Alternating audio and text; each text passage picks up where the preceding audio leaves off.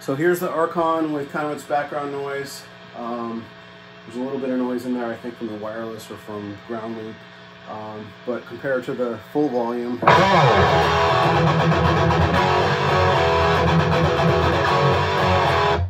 it's really nothing. So it's wired into an Axe-Fx. If I go through the back end of the Axe-Fx for the actual effects, I get this. And